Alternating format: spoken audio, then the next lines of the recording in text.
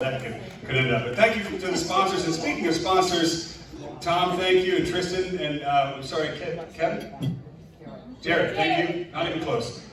Thank you guys for, for not only sponsoring this event, but I'm, I'm thoroughly intrigued by your technology. And, and in all seriousness, as you mentioned, I've got a, a power boat. It is on a mooring in Maryland, and I now live in North Palm Beach. So I'd like to talk to you afterwards about putting that technology on the boat because I have no idea if it's sunk or if it's not. Eventually, we want to sell it to Tom. So I want to make sure it's in good shape.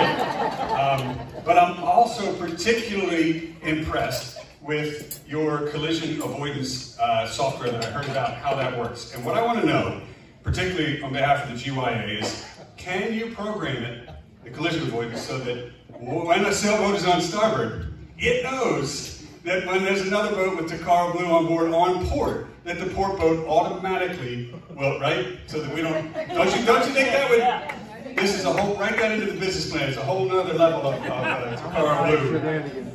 I don't know if some of the, I don't know if it's going to be a big moneymaker compared to possibly some of the other um, markets you're going to go after, but I still think it would be a good one, particularly since alcohol and sailing tend to be synonymous. So if you could have a drink and not worry about collision avoidance, you guys are going to be billionaires by tomorrow. I, anyway, but thank you very much for supporting this event and for having me tonight. It, it is an honor to be here. And tonight, we will celebrate, as you know, the America's Cup. We celebrate uh, the New York Yacht Club's long-standing tradition with the event